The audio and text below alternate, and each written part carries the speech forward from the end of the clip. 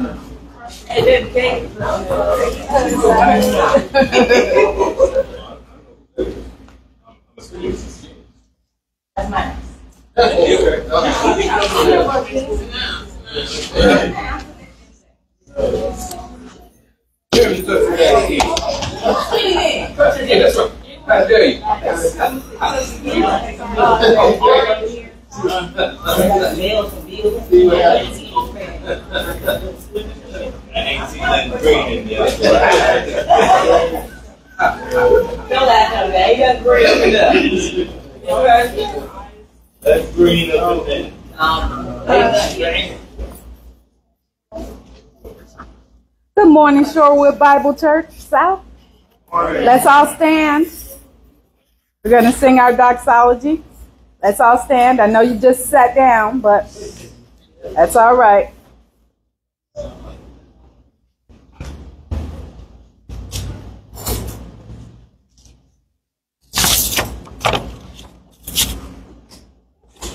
Enjoying this beautiful weather as we just don't know what we're getting next week, right? Supposed to be hot next week. Supposed to be hot. Yeah. Yeah. Come on, son, I'm right back. Let it be. the leaves are turning though. I saw some I saw some leaves turning, so Yeah. we're we're late in the season, so we're thankful to the Lord for all things as He um especially for his power. We're gonna sing 330 so you can get that. But first we're gonna do our doxology. It's a good reminder of what we already know, and we're always we always need to remind ourselves of um, the the way that our mindset is as we live in Christ. Christ is all that he claims to be. I'm so glad that he lives in me. My hope of glory, yes, he is. For he is mine, and I am his. Amen. Now let's turn to 330. Power in the blood. By request, by request from Brother George. All right. Verse 1, let's start. Would you be free from the burden of sin? There's power in the blood, power in the blood. Would you or evil a victory win? There's wonderful power in the blood. There is power, power, wonder working power in the blood of the Lamb. There is power, power, wonder working power in the precious blood of the Lamb. Verse 2. Would you be free from your passion and pride? There's power in the blood, power in the blood. Come for a cleansing to Calvary's tide. There's wonderful power in the blood. There is power, power, wonder working power in the blood of the Lamb. There is power, power, working power in the precious blood of the Lamb. Verse 3. Would you be free to what's whiter than snow? There's power in the blood, power in the blood. Sin stains are lost in its life-giving flow. There's wonderful power in the blood. There is power, power, wonder-working power in the blood of the Lamb. There is power, power, wonder-working power in the precious blood of the Lamb. Verse 4. Would you do service for Jesus, your King?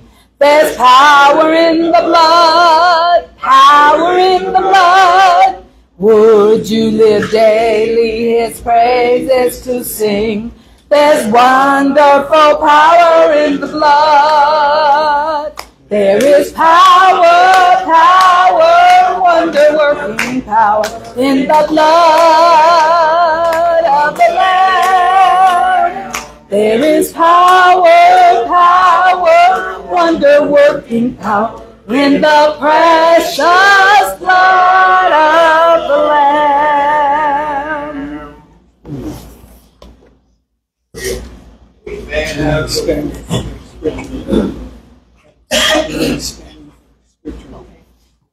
Let's remain standing for the scripture reading.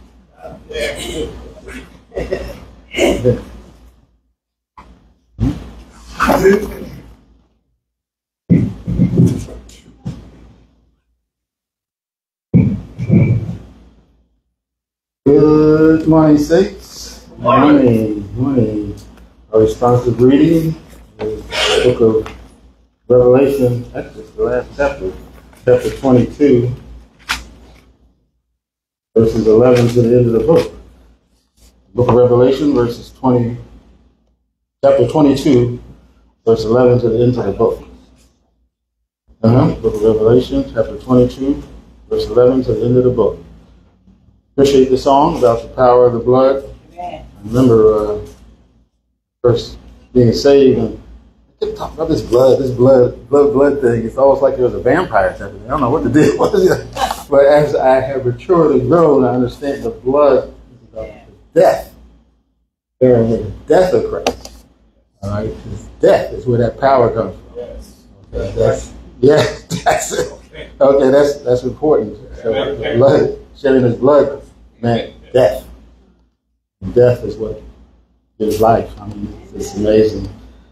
Uh, in book, uh, again, good morning to those out in Meadowland too. You know, also thank you for joining us. Revelation, Book of Revelation, chapter 22, uh, starting at verse 11. He that is unjust, let him be unjust still, and he which is filthy, let him be filthy still, and he that is righteous, let him be righteous still, and he that is holy, let him be holy still. And behold, I come quickly, and my reward is with me, to give every man according as his work shall be. I am Alpha and Omega, the beginning and the end, the first and the last. Blessed are they that keep his commandments, that they may have right to the tree of life, and may enter into the gates of decision. For without our dogs and sorcerers and whoremongers and murderers and idolaters and whosoever loveth and maketh a lie. I, Jesus, have sent my angel to testify unto you these things in the churches. I am the root and the offspring of David, and the bright and morning star. And the Spirit and the bride say, Come. And let him that heareth say, Come. Let him that is athirst come. And whosoever will, let him take the water of life freely. For I testify unto every man through every words of the prophecy of this book. If any man shall add unto these things, God shall add unto him the plagues that are written in this book. And if any man shall take away from the words of the book of this prophecy, God shall take away his part out of the book of life, and out of the holy city, and from the things which are written in this book. He which testifieth these things saith, Surely I come quickly. Amen. Even so, come Lord Jesus. The grace of our Lord Jesus Christ be with you all. Amen. Amen. Let's have a word of prayer. Most gracious Heavenly Father, again, we, we thank you for you just being you, the God and Father of our Lord and Savior, Jesus Christ, the one true living God of the universe. We thank you. We thank you for the cross work of Christ, the shed blood on the cross, which is death, burial, and resurrection. By believing that fact, that simple fact that Christ died for our sin, was buried and rose again, results in our being identified or spiritually baptized into the body of Christ. We thank you for that. We thank you for your complete canon of Scripture. We thank you for the Apostle Paul, the administrator of the dispensation of grace, the risen Lord Jesus Christ is speaking to us through our Apostle Paul. Epistle of Romans 3 5. We thank you for your Spirit, enables us to understand your word rightly divided, that we can correctly ascertain your will for today. We're here today to honor and to worship you in spirit and in song. We're trusting that each and everything that is said here today, done here today, thought here today, will be all to your praise, honor, and glory. We look forward to that in Christ's name.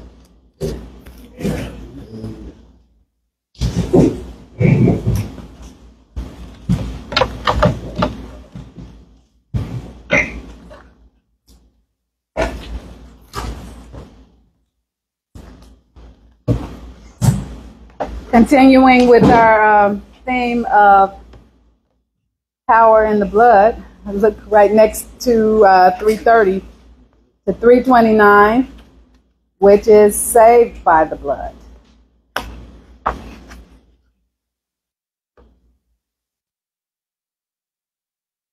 Saved by the blood of the crucified one, now ransomed from sin, and a new work begun. Sing praise to the Father and praise to the Son. Saved by the blood of the crucified one.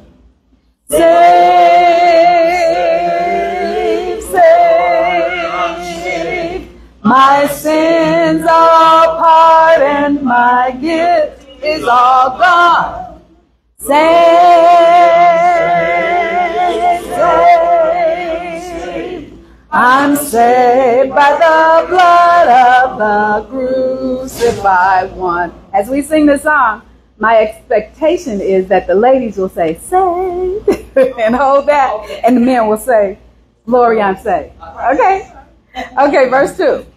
Saved by the blood of the crucified one, the angels rejoicing because it is done. A child of the Father joined heir with the Son. Saved by the blood of the crucified one. Now, ladies, saved.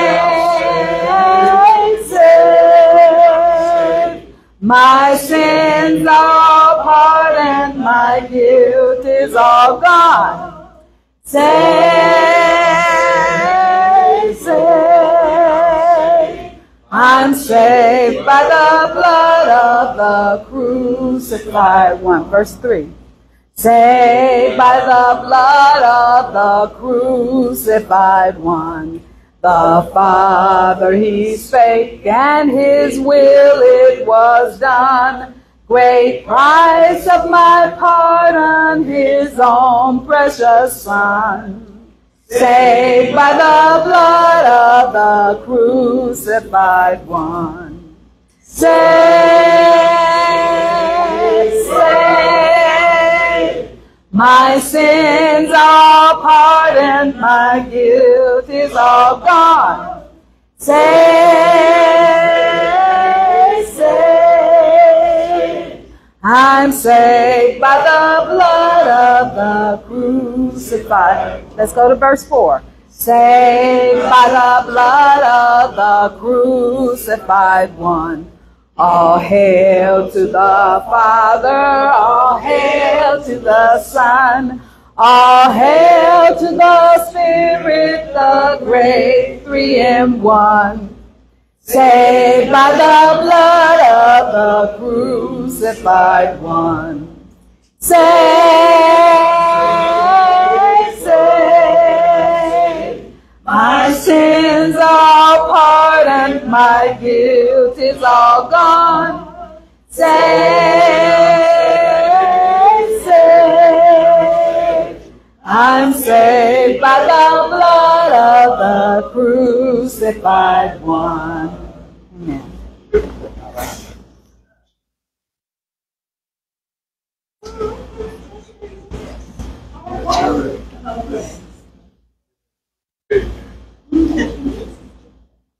Morning, Saints. Make sure I got the right one this week. Yes. August 25th. Welcome to Shore Bible Church South. where the King James Bible says what it means, it means what it says. It is our prayer that the light of God's word would shine in your heart through the singing, preaching, teaching, and exhortation of the word and of his grace. Wednesday night Bible study starting at 7 p.m. in person service. The teacher there is Pastor Arthur Johnson teaching on the book Hebrews. Saturday morning Bible studies. The time is 11 a.m. The address is 1142 East 67th Street in Chicago. The teacher there is Brother George Crump. You want to phone ahead if you plan on being there, phone ahead. That number is 773 851 6430. Saturday, September the 7th, 79th Street Renaissance Festival. That's the annual Renaissance Festival on 79th Street each year, each summer. 79th and Racine. The time is 10 a.m. to 8 p.m. We'll have one booth, so we're encouraging everybody to come on out, be a part of the ministry and sharing the gospel. Today, Sunday, August the 25th, is our monthly business meeting. That's each uh, final Sunday or the last Sunday of each month. Today is just such a Sunday. We're encouraging any and everybody to feel free to join us and participate in that if you're members, especially if you're registered members. Uh, but all are welcome to attend. It's the last Sunday of each month. September birthdays, Sister Sandra Nixon. Happy birthday to Sister Sandra Nixon. November the 20th. Sister Willie Mae Davis, um, September the 30th. Is that correct? Okay. Sick and shut in. Sister Sarah Ruffin, Sister Margaret Ruffin, Sister Donna Griffin, Sister Sylvia Burke, Sister Jan Harris, Sister Mary Wright. Also on our uh, broadcast, TV broadcast channels, CAN TV, channel 36. AT&T, that's channel 99. Channel RCN, and channel WOW. August broadcast, Monday, August the 26th at 9 a.m. Teaching on the book of Romans, what Paul's apostles, apostleship, excuse me, signifies. Then on Monday, August the 26th at 8.30 p.m., the final authority, concluding on Tuesday, August the 27th at 10.30 a.m., the final authority. Are there any other announcements outside of the bulletin that we're not aware of, that I'm not aware of? Oh, um, just wanted to uh, make mention, uh, acknowledge uh, the loss of a, a loved one uh, from the Owens family. Sister Rochelle's aunt, uh, I've been made aware of this morning, passed away. And so we just wanted to acknowledge that and uh, keep the family lifted up in our hearts and prayers and in our thoughts.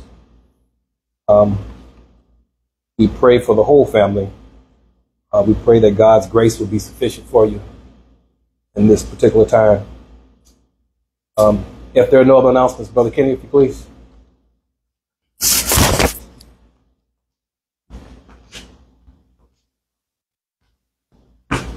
Lord, saints. We come to the glorious, one of the glorious times of our ministry. When you get to participate in what God is doing. I always like to say if you search the scripture and find out what God is doing, become a part of what He's doing, you'll be in the perfect will of God. As always, I like to give a short teaching on why we give. Today I want to come from uh, 1 Timothy chapter 6, verse 2. And it says, And they that have believing masters, let them not despise them, because they are brethren, but rather do them service, because they are faithful and beloved, partakers of the benefit. These things teach and exhort. So, why command them to give? If any man teach any otherwise, and consent not to wholesome words, even the words of the Lord Jesus the Christ, and to the doctrine which is according to godliness.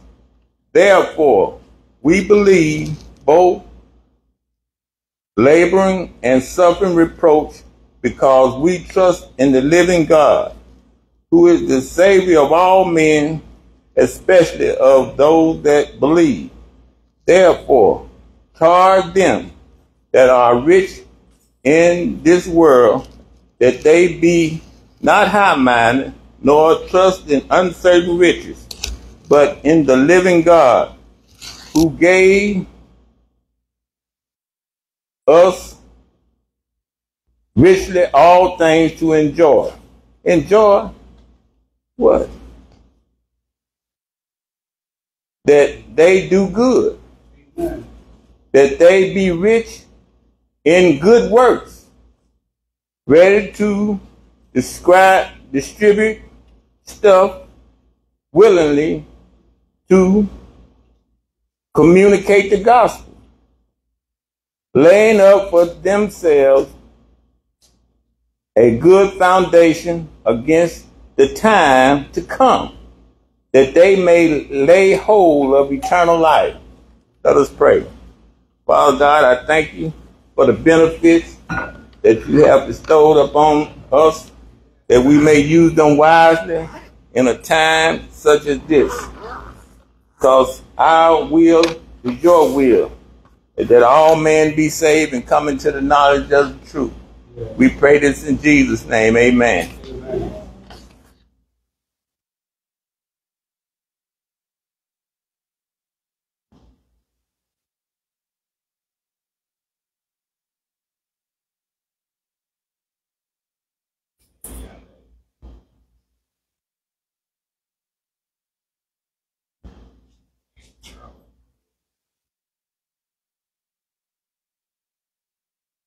Thank everybody that had a chance to give and had a desire to give. May God bless you, keep you good health all the days of your life.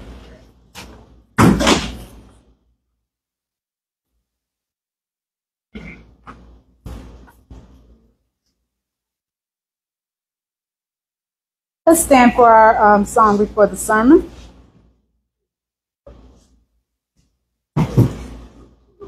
Um, we're going to go to number 500. When the roll is called up yonder. Number 500.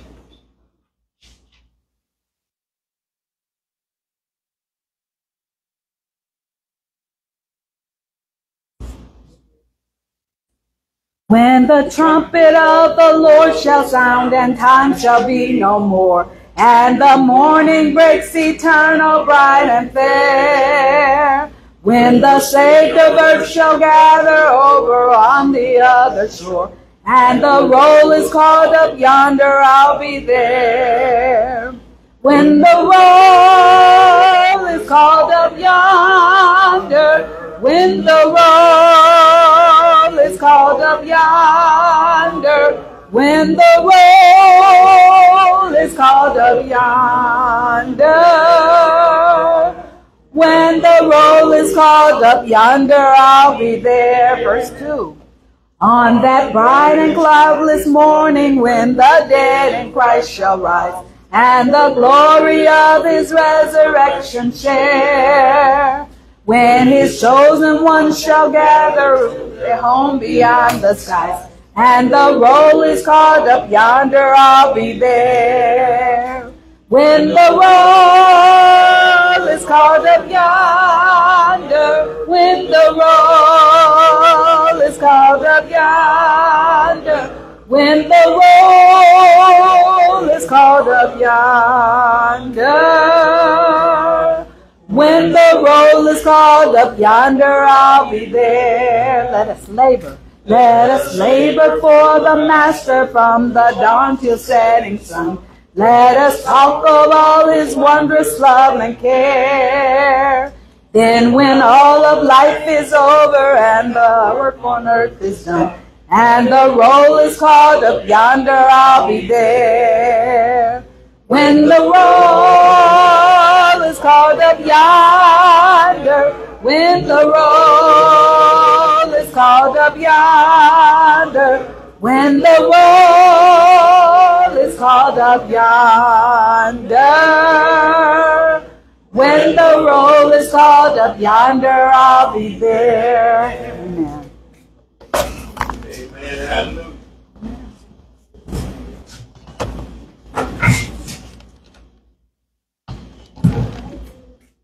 There is one piece of um,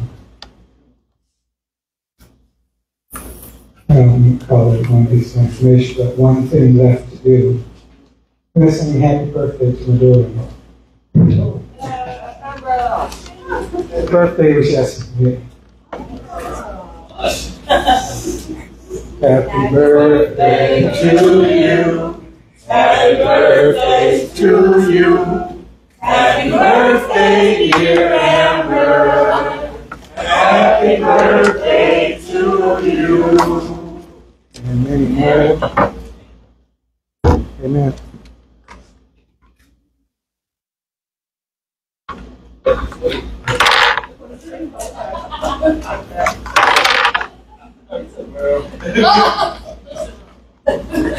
Keep living, man. Keep living. You know,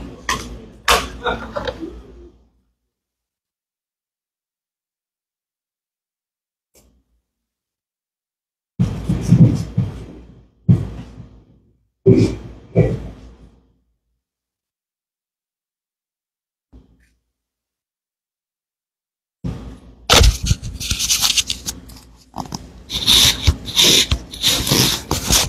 all wired up here. All righty. Take your Bibles, turn to Romans chapter 1. Romans chapter 1. And we're going to continue with the message um, that I, I began last several weeks. Preached last week. We'll continue this.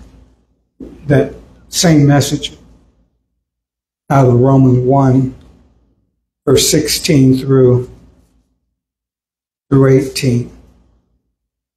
Romans chapter 1, verses 16 through 18.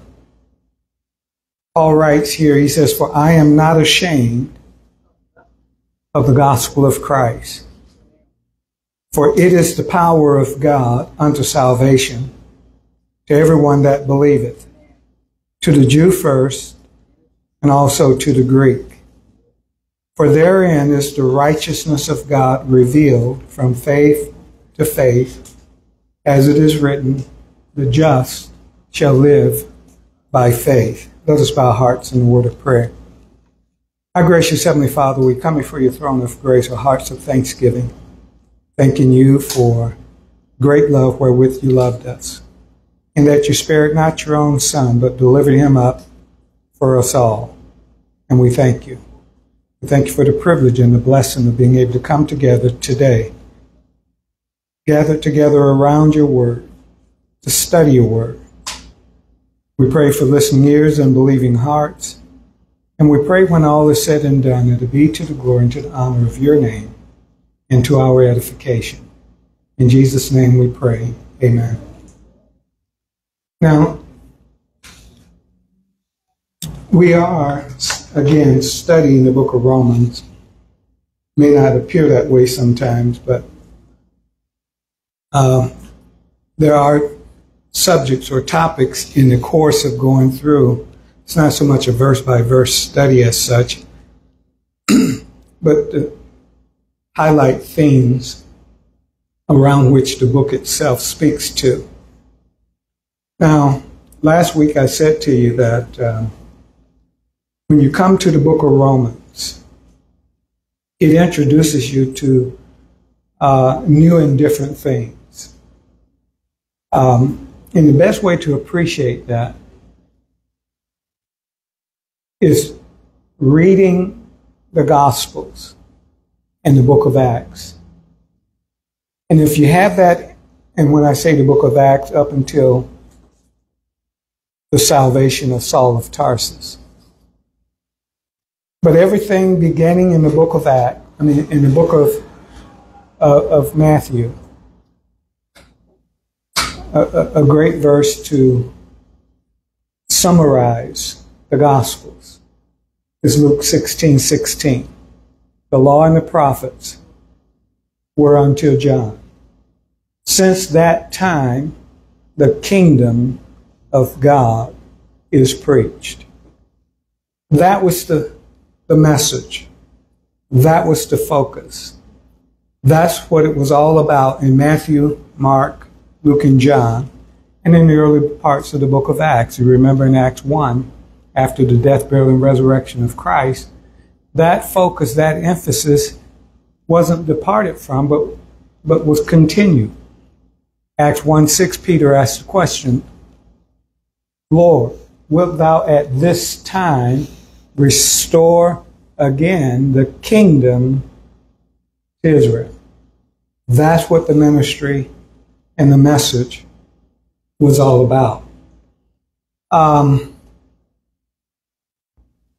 have to watch some of the things I get off on because it takes away from getting further along in my message. But these are things that are designed to help you appreciate uh, what Paul is saying, or what I'm saying at this point, and getting to what Paul is saying. But when I speak about the gospel of the kingdom, that that was the focus. The law and the prophets were unto John since that time. The kingdom of God is preached.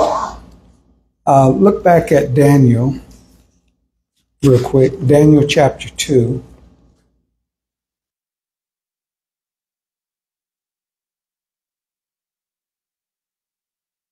And that reminds me. Go ahead and get, get Daniel 2.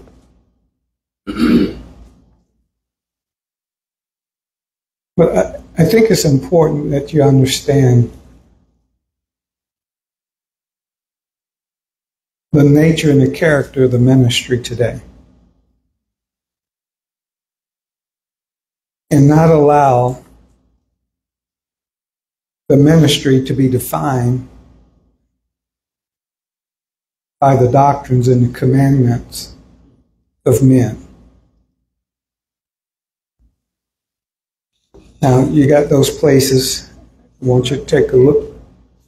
Say again. Daniel 2. Uh, we're going to look down at verse 44, but I'm not going there immediately. but we're going there. Um, but it's important for me to say what I'm about to say. I was watching a little bit of uh, uh, WJYS, the um, Christian radio, uh, Christian television broadcast, and happened to listen to one of these Word of Faith teachers. And I listened to him for a, a, a, little spell. It's hard for me to sit and watch these guys anymore. but you know, I hadn't done it in a while, so I just wanted to kind of make sure things hadn't changed. They hadn't changed. Uh, yeah. And what am I talking about? Look at 2 Timothy chapter 3 for a moment.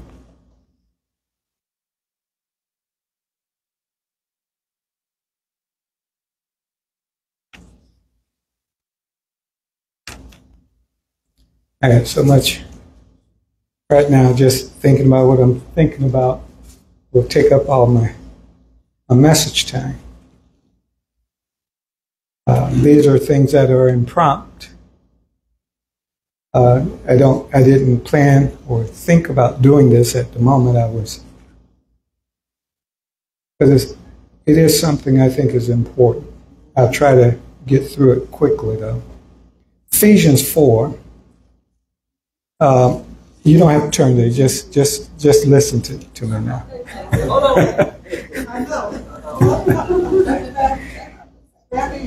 like I say, the verses just start. You know, your, your mind just start running the verses.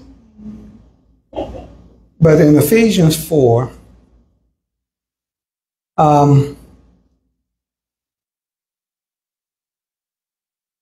Paul talks in verse 14, he talks about that we henceforth be no more children, tossed to and fro, carried about with every wind of doctrine by the sleight of men and cunning craftiness, whereby they lie in wait to deceive. I sometimes, it's kind of hard to say certain things because, on the one hand, it seems like you're not being accurate or you're not being truthful. But this verse talks about uh, an activity that I don't think the church is really conscious of. But if you listen to them from time to time, you think they are conscious of it. But what they're doing, they are, you know, there's a verse over in Timothy talks about, um, yes, um, evil men and seducers shall wax worse and worse, deceiving and being deceived. Amen. And I asked a question because, I, I, you know, of, of the audience. I, I like asking the question where are those evil men and seducers? And generally, when you're in a particular assembly, when you're in a church, even like our own, when you ask that question, you rarely, or if ever, think of yourself. That where you're, where you're sitting and listening, that that verse is talking about you, about where you're getting your information from. When you, when you hear the Bible speaks about evil men and seducers waxing worse and worse, you're generally thinking about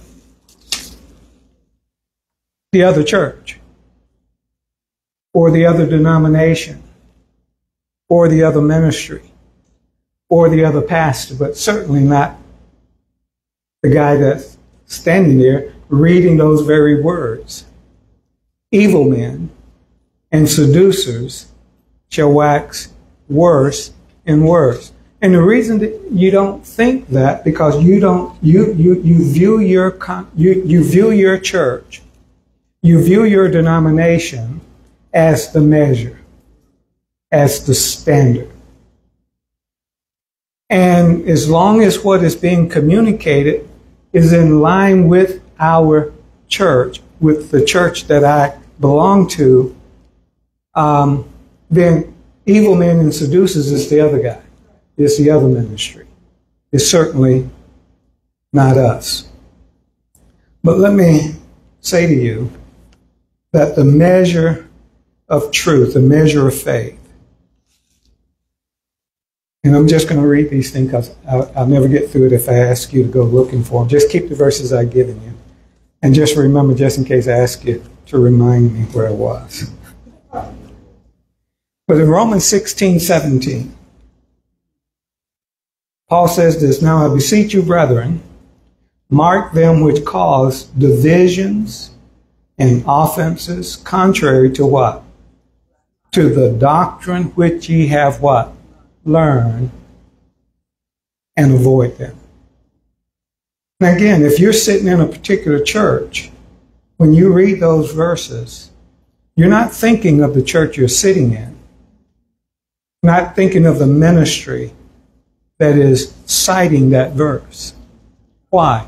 Because in your mind, and in that ministry, by the way, that ministry is thinking that they are the measure, that they are the standard by which you judge these things. So if someone is teaching contrary to what our church is teaching, then they're the ones that are causing divisions and offenses, contrary to the doctrine that that church ministry has taught you. But you would be wrong if you thought that way. Look at verse 18. For they that are such serve not our Lord Jesus Christ, but their own belly, and by good words and fair speeches deceive the hearts of the simple. I was talking with my uncle yesterday, and one of the great difficulties, one of the things that is hard for him to grasp, is how when you're sharing the Word of God and you're showing, you're pointing things out to people that refute what they believe, things that you know that they cling to and embrace as truth, but you show them from the Word of God that that's in error, that's wrong.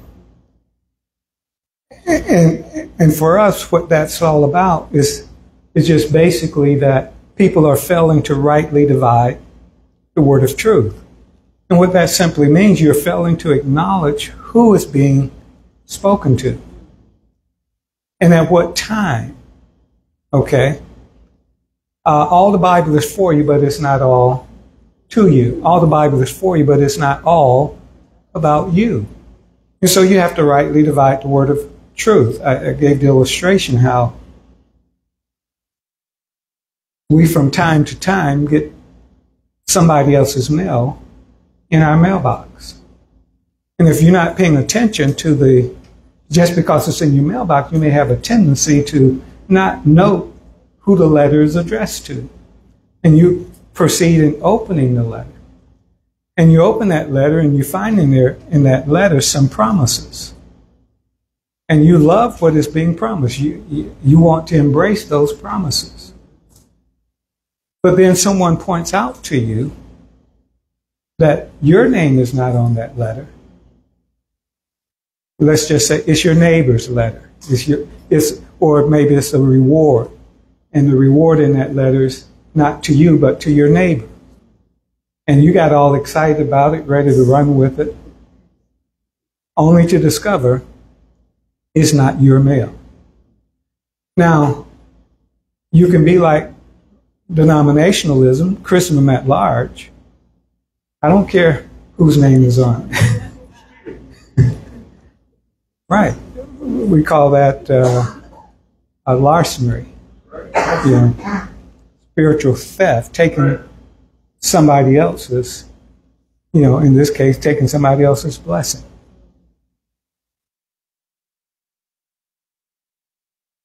But people who do that Brother George is making this point every every week. They don't care what the Bible says. They don't care what God says. It's what they want to believe. I, have talked to you know other ministers eh, about things in the Bible and clearly and, and get them to acknowledge, no, that's not what the Bible teach, but it's what our church does. It's what we do. So Forget about what God says. It's what we do. And so you pointing that out is meaningless to us. Why? Because we're doing what we want to do. We don't care what God says. Well, now that's the gist of um, First, uh, Second Timothy, chapter three. I, I think I had you go there, right? That's the gist of Second Timothy, not chapter three, but chapter four. Beginning at verse 1, Paul says, I charge thee therefore before God and the Lord Jesus Christ, who shall judge the quick and the dead at his appearing and his kingdom. Now notice what he says. Do what? Preach the word. And I know the average person you talk to think the word of God is being preached today. You turn on the television, you're listening to the radio, or you've got all this literature being printed up, and you think the Word of God is being preached. But if you have to be exhorted to do that, preach the Word, be instant in season, out of season, reprove, rebuke, and exhort with all long suffering and what? And doctrine. He says, For the time will come when they will not do what? endure sound doctrine, but after their own lusts shall they heap to themselves teachers having itching ears. And they shall turn away their ears from the truth and shall be turned unto fable stories. Contemporary preaching today principally revolves around the individual. You hear that expressed by such words as God has a wonderful plan for your life. And they embark upon that course of speaking to you after that manner. God has a wonderful plan for your life. You know, what's your vision? What's your dreams? You know, what's your challenges? What's your trials? What's your tribulations? And so they speak, they, they focus on those kinds of things. And I'm sitting there listening.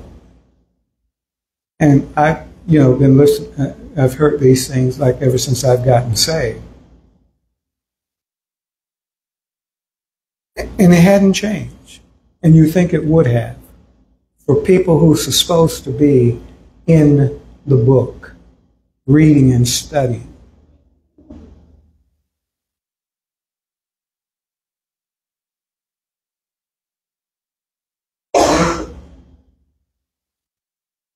Come away from that kind of preaching and teaching, you still don't know anything about the doctrine of the Lord. You have no idea, you have no clue about what God is doing. And all you're doing, you're looking at the world and the things that are going on in the world and, and, and, and have this expectations of, of being exhorted, being comforted by those things that speak to your particular experience. And that, you know, conf- you know, that edifies you, that builds you up, per se. And I say it that way, I'm talking because I, I'm talking about people who are focused on themselves rather than truly the doctrine of the Lord. And they're looking for that in, when he says, For the time will come when they will not endure sound doctrine, they're not looking at the doctrine that they're supposed to be building in the mentality of their soul, that edifice of sound doctrine that they build in, in their soul, which is the doctrine of the Lord. It's about God's will. You heard Brother Kenny say it uh, in, in, in, in, in the preaching and the teaching out of here, generally put the emphasis upon when you talk about being in the will of God Find out what God's doing. Go do that. And you'll be doing the will of God. Now, that's not what you hear being preached and taught out there. It's actually what you, you generally hear is having God come into your life, inviting God into your life. And it's not about you inviting God into your life, invalidating your vision and your desires, your wishes, your dreams, but God inviting you into His will, and His purpose, into His world. You become a part of what God's doing. God wants you to be a part of what He's doing. But that's not the message that you get from Christendom. Now,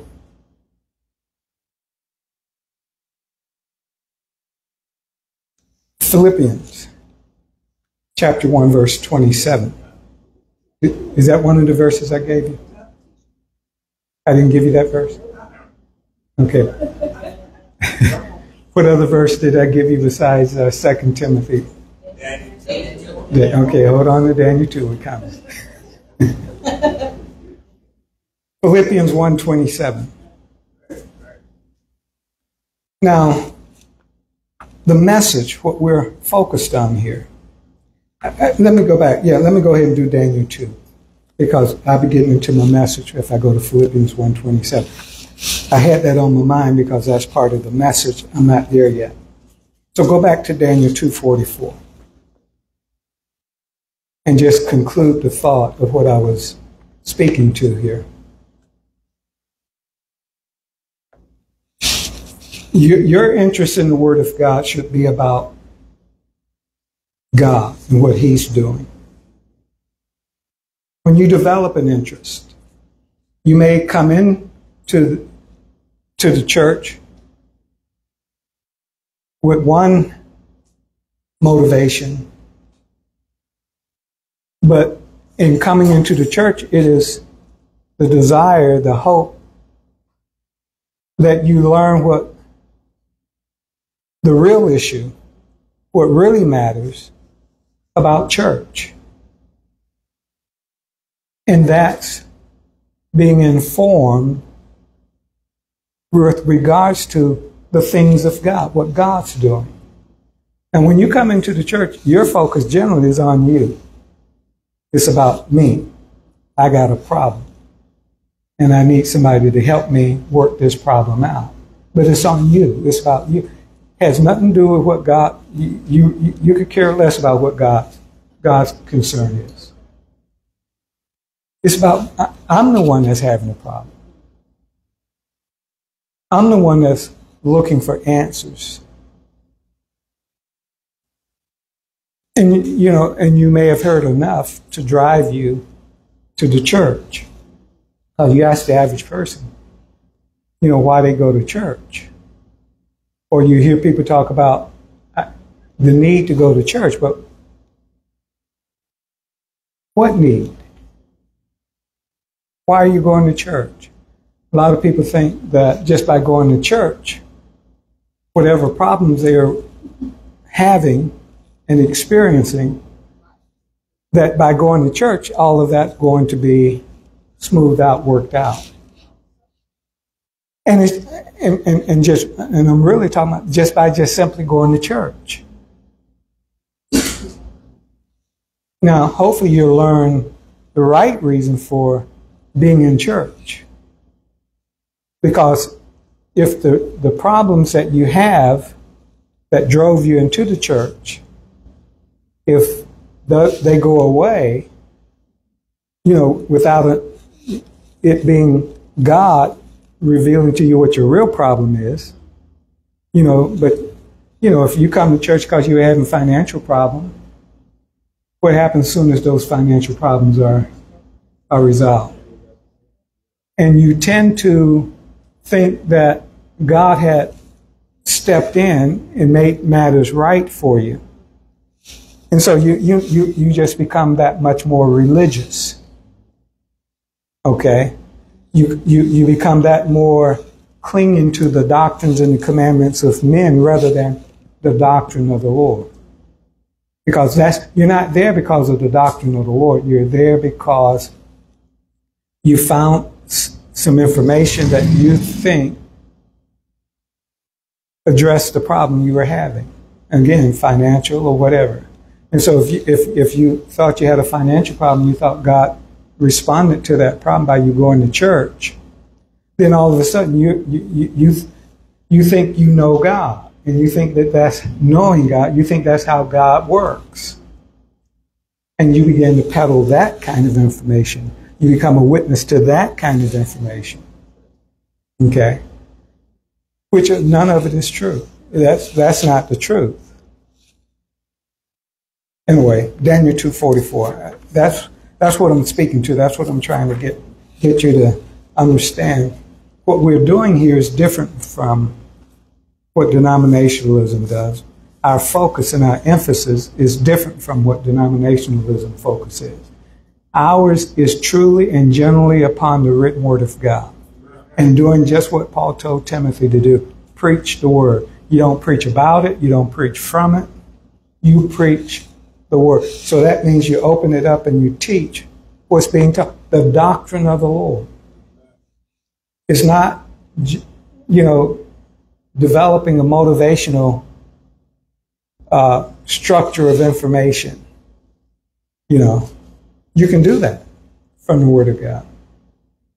Um, but just simply exhorting people and comforting people isn't the same as preaching or or it is not the same as sound doctrine. Let me say it that way. Again, what did Paul say? They will no longer endure what? Sound doctrine. They, they, they shall heap unto themselves teachers having itching ears, preaching and teaching the things they want to hear, Right, right. as opposed to what does God want me to hear? What is it that God wants me to know? And let that be your, you know, your guiding light. Daniel 2. Now, in, in Daniel 2, the reason I bring you here in conjunction with the, uh, the, the, the, the words I was saying to you in the beginning about Luke 16, 16, the law and the prophets were unto John. Since that time, the kingdom of God is preached. Is to say to you that when you come to the Gospels, it is about fulfilling the law, the prophets, and the Psalms. It wasn't just simply to exhort people, simply to comfort people. Now, that's what the shepherds of God, that's what the priests of God was to do with regards to the with regards to the nation of Israel. They were to do that, but it was how they were to do it. It wasn't just with any words, but it was with an understanding of what God was doing, understanding their problem, why they were in the conditions they were, and how they could fix it, how that situation could be fixed. But is looking at the matters as they are presented in the Word of God. In Daniel 2, you see the course of, of history laid out there for you. The course of history beginning with Gentiles ruling and reigning over the earth, a situation where Israel, the nation of Israel, was to be the people to do that. God raised up Israel. They were to be the kingdom of priests. They were to be a holy nation unto God. They were to be how, how the government of this earth was to be administered by that nation. They fell. God gave the government governmental authority of the earth unto the Gentile. We call that the times of the Gentiles, where they are ruling and reigning and governing the earth. And in the course of that, God lays out a, a path, a course, by which He's going to reclaim the governmental authority of the earth back unto Himself under the reign of the nation of Israel, under the headship of the Lord Jesus Christ. Now that's what prophecy is about.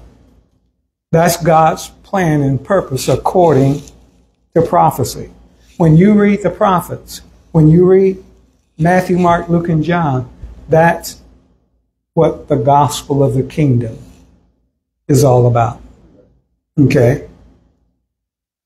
When you read Matthew, Mark, Luke, and John, early parts of the book of Acts, and just say it just just cut off abruptly there, what's the next book after the book of Acts? Did, the book of Romans. Okay. That's the next book after the book of Acts. When you read Romans, I challenge you to see if it presents itself as a continuum of Matthew, Mark, Luke, and John in the early parts of the book of Acts. Okay? Is it about the gospel of the kingdom? And to any unprogrammed individual who've been programmed to think that way, that it is. You see that chart behind me there? That chart behind me is a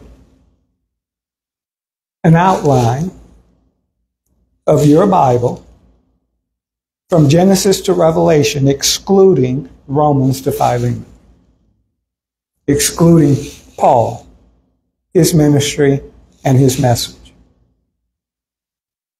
That chart represents what the Bible calls, or uh, uh, what we, we, we, we have ascribed the, the, the term prophetic program, but God's program of prophecy. That's prophecy. There's a program in your Bible called prophecy.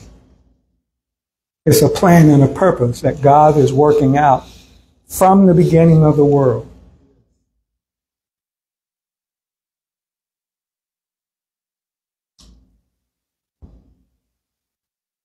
Daniel 2,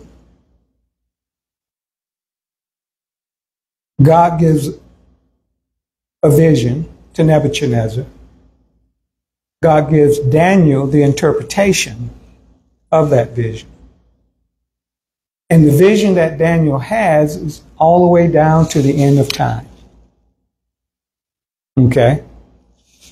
To, to the second coming of Christ, setting up of his kingdom.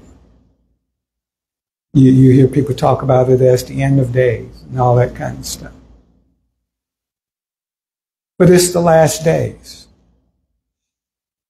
Daniel 2 44 sees all of that.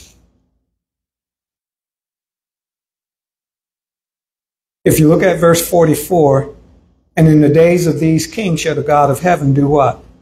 Set up a kingdom which shall never be destroyed. You know why it's called the kingdom of heaven?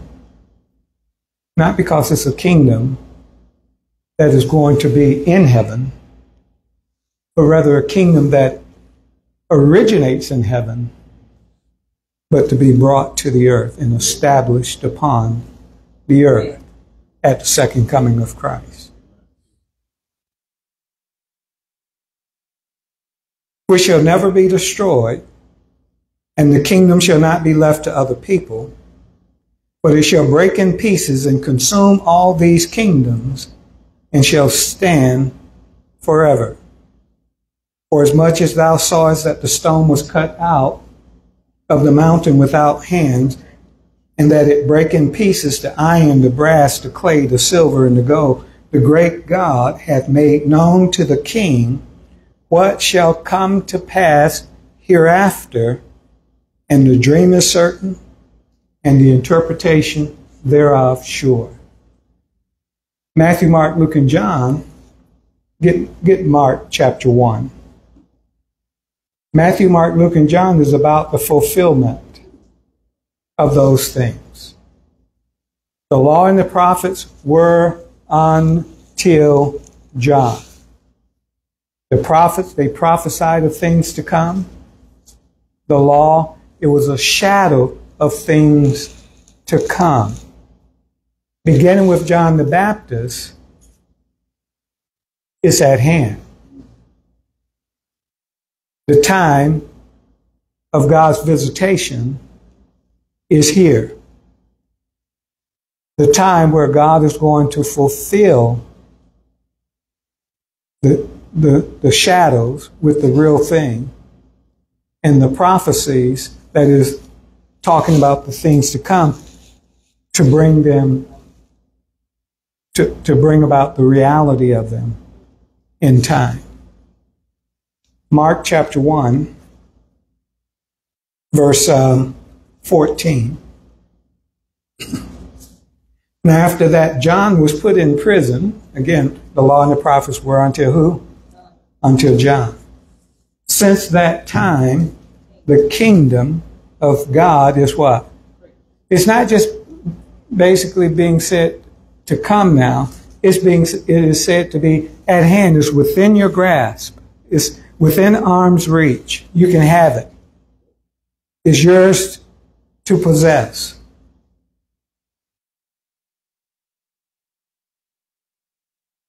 Mark 1:15 says,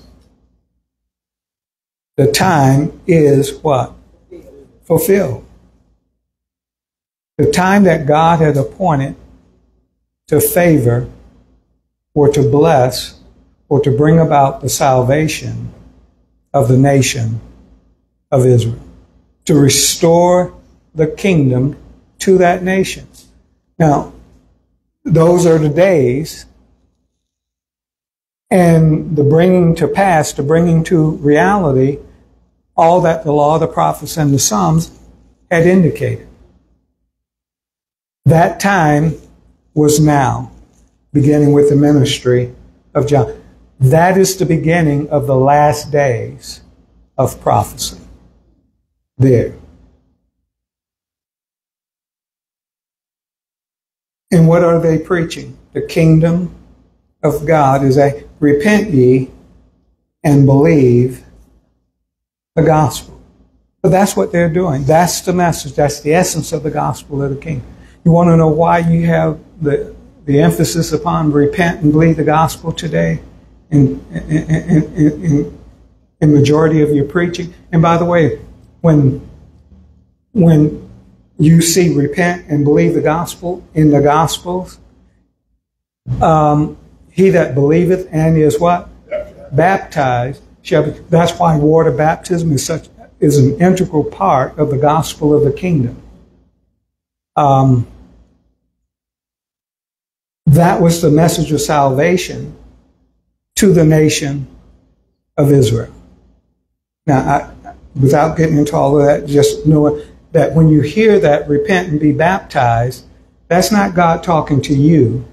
That's not God talking to any sinner in the dispensation of grace.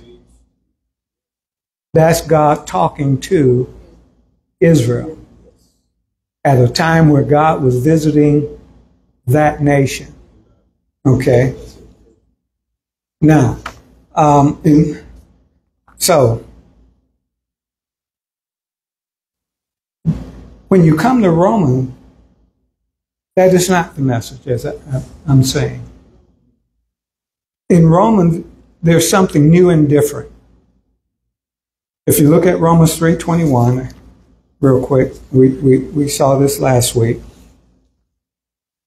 Let's start at verse 19. Now we know that what things soever the law saith, it saith to them that are what?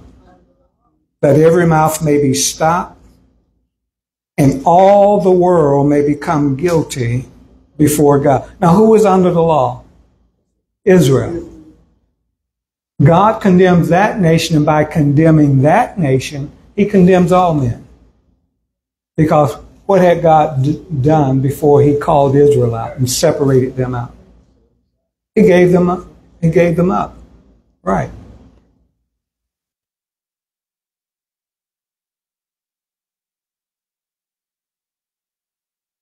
when Israel joined the Gentiles in their rebellion against God, he concluded them in unbelief along with the Gentile. To what end?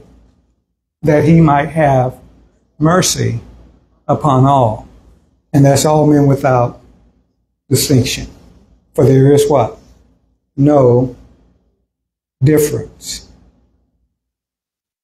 So in verse 19 again, now we know that what things soever the law saith, it saith to them who are under the law, that every mouth may be stopped and all the world may become guilty before God. Therefore, and get this, by the deeds of the law, there shall be no flesh, there shall no flesh be what? Justified in his sight. For by the law, is the knowledge of sin.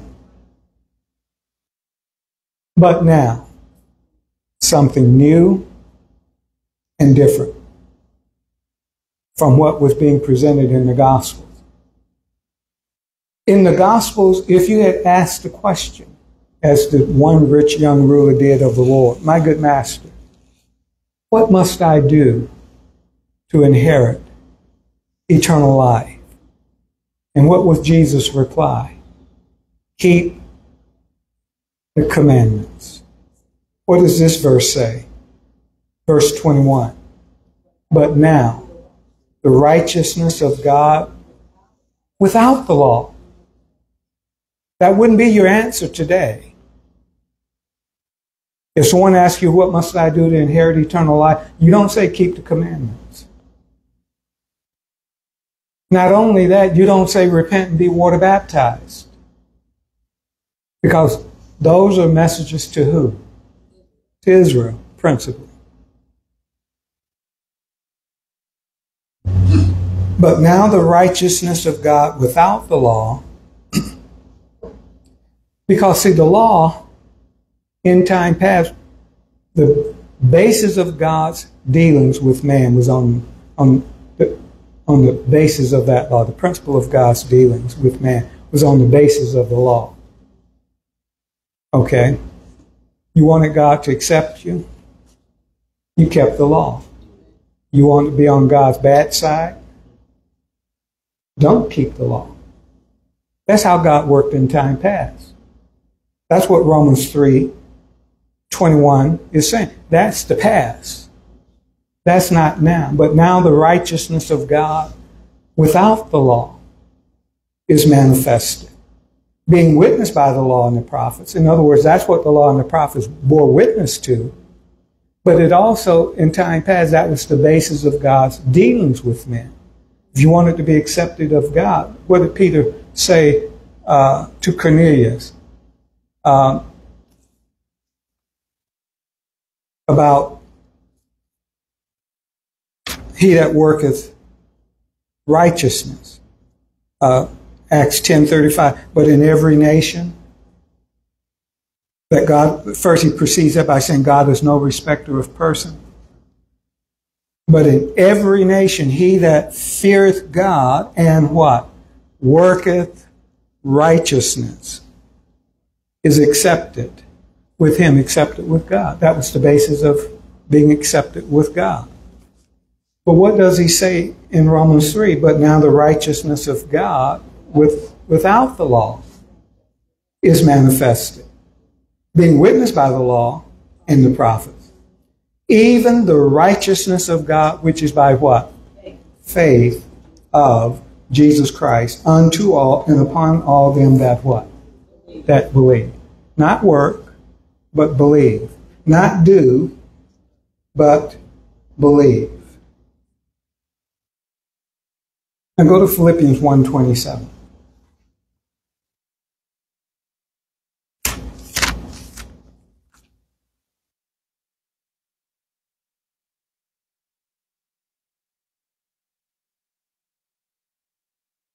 Our text is about the gospel of Christ. Paul says, I'm not ashamed of the gospel of Christ, for it is the power of God unto salvation to everyone that believeth, to the Jew first, and also to the Greek. In Philippians 1:27, speaking about the gospel of Christ, only let your conversation be as it becometh what? The gospel of Christ. When I say something new and different is being presented to you in Romans to Philemon, that's exactly the point. You have a new standard. You have a new guide you have a new instructor. Real quick, keep your place in Philippians. Go over to Titus chapter 2, verse 11. Titus chapter 2, verse 11.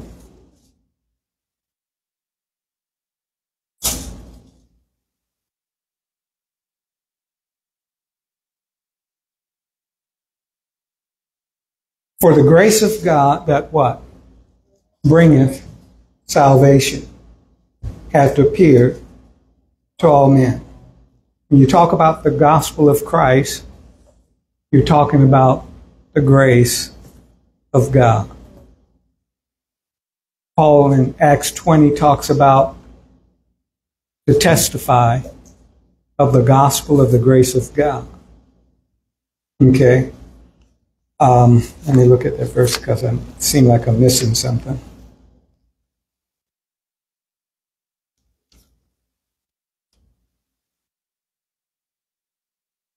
he talks about that I might finish my course, God set him on a path, set him on a course. Begin with that revelation of Jesus Christ to Saul of Tarsus in Acts chapter 9. That I might finish my course. How? With joy. And the ministry which I have received of the Lord Jesus. From the very beginning, what was Paul's ministry? To testify the gospel of the grace of God. Not to testify the gospel of the kingdom. From the very beginning, Paul had one calling, one course to testify the gospel of the grace of God. Go back to uh, Titus 2. For the grace of God that what? Bringeth salvation. Now, again, this is not the same salvation was being announced by the ministry of John the Baptist. By the way, what was that? Look, look at Luke chapter 1 real quick.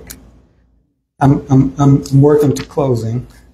I won't get all this in, but I'm working to come to be able to close this out with a complete thought. But look at Luke chapter 1.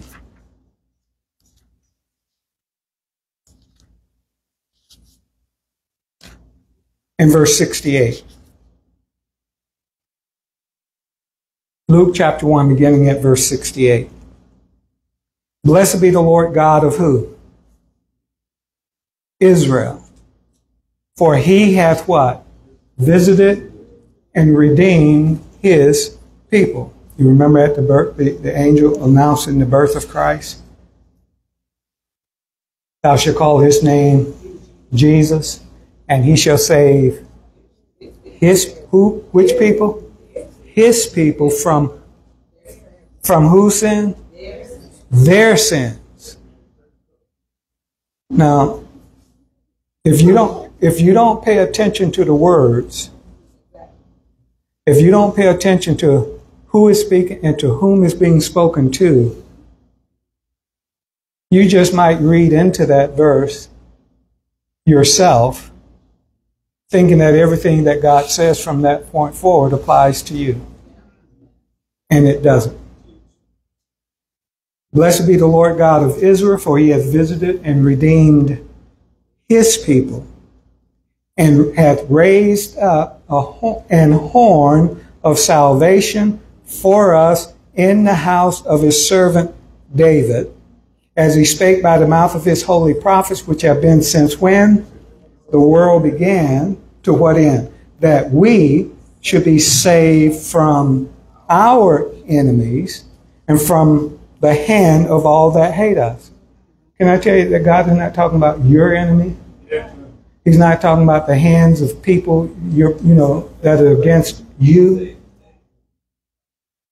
And so you read verses back there in the Old Testament says, "No weapon formed against thee shall prosper," thinking that that's God talking to you, and it's not.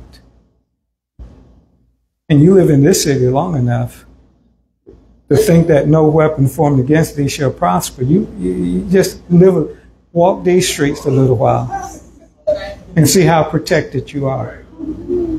How much of a hedge you have built around about you.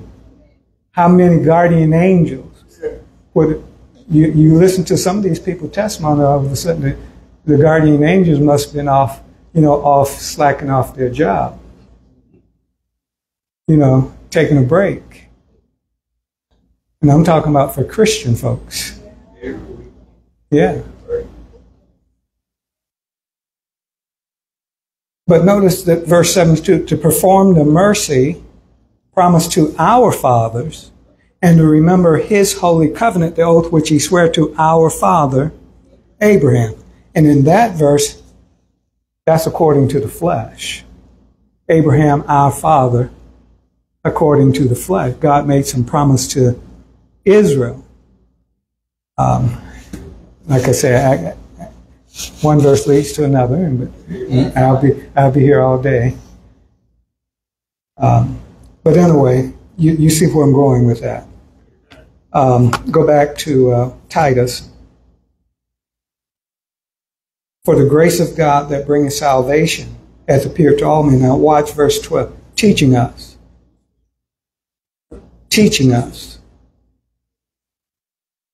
Um, I know what I want. Get Romans 11 real quick. I'm going to be finished by 12:30 for sure. Got to stop because we got a business meeting. Romans 11, and I'm focused on this salvation. I want you to understand something about this. The power of God on this. When Paul uses that phrase, the power of God on the salvation, it's, there's something about this issue of salvation you need to be real clear about. In Romans 11, 11 and 12, I say then, Romans 11, 11, I say then, have they stumbled that they should fall? God forbid, but rather through their fall, what? Salvation. Through Israel's what? Fall, salvation has come unto who? Now, what does it mean for Israel to have fallen? That the kingdom that was to be restored to them has been put on hold. They do not realize the kingdom promises. Okay? And why don't they realize them? Because of unbelief. Why did they fall? Because of unbelief. Okay? And as a result of their fall, which means that salvation hasn't come to, to the nation of Israel. That's my point. As a result of their fall, the verse goes on and say, salvation is what? Come unto the Gentile. But what salvation? Not the salvation that God sent to the nation of Israel. Right, but my, my point is, beginning with the ministry of John the Baptist, God sent salvation to who? He shall save his people from their sins. God sent salvation to the nation of Israel. When they, because of their unbelief, that salvation message that was sent to them was what? Withdrawn. It was cut off or interrupted. Let me say it that way. It was cut off. And so when it says, as a result of that, salvation is come unto the Gentile, it would be a mistake to think that the same salvation message and program that was sent to Israel is now being sent to the Gentile. Because that's where you get the doctrine of the replacement Israel. Okay? That's what that would grow. If, if, if, if you think that God is through with Israel, then salvation coming to the Gentiles means that God is going to fulfill his pr- promises through the Gentile. That is not the case.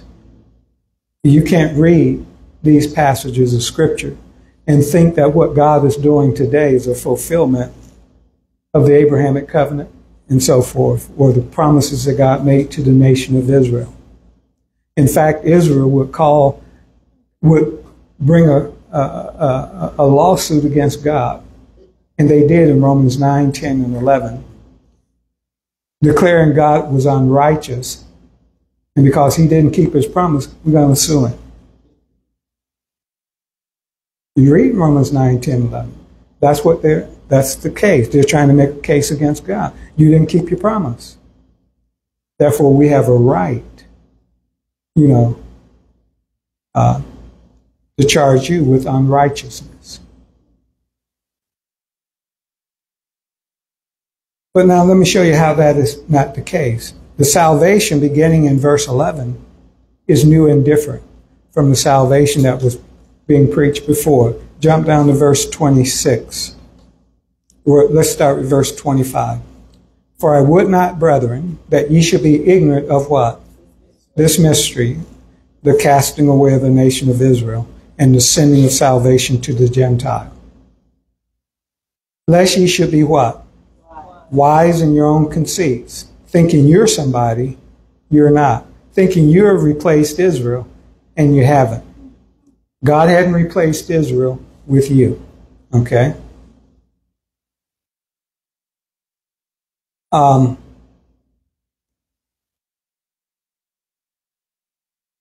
uh, lest you should be wise and knowing that blindness in part has happened to who? Until when?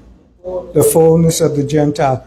So God is definitely doing something new and different, beginning with Paul, beginning with the book of Romans to Philemon. And you know that because in verse 26, when God is done with what he's doing today, he's going to return back to what? To bringing about the salvation of the nation of Israel. And so in verse 26, he says, And so all Israel shall be saved. As it is written, there shall come out of Zion the deliverer, and shall turn away ungodliness from Jacob. Now I'm going to have to stop there. I hope you get the gist so far. In my point earlier,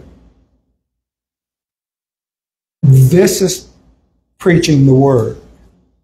This is what preaching and teaching is supposed to be about today. Not the kind of stuff you hear generally emphasized and talked about. Because of all the kinds of preaching that you hear out there that you've been subjected to a majority of your life before you came to know the word rightly divided, how many of you knew these things? How many of you knew these things in the course of them, how God, what God was God is doing, and how He's doing, why He's doing? it? You didn't. You know why you didn't? Because the people who was preaching it didn't know. If you ask the question, how come I never heard this? Your preacher never preached it. Why didn't he ever preach it? Because he didn't know it. 2 Timothy 2 2 says, And the things that thou hast heard of me, Paul, the same commit thou to faithful men who shall be able to what? Teach others also.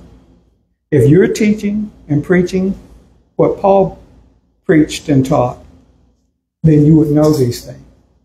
And the way you know uh, preachers and teachers aren't teaching these things, they're not, don't know these things because they're not teaching these things. And, and, and, and the worst is to know these things and not preach them. Okay? That's the worst. All right. Uh, Got to stop. And um, we have our business meeting this morning. All welcome to stay. It's going to be short. Uh, do plan uh, probably to be done by one o'clock.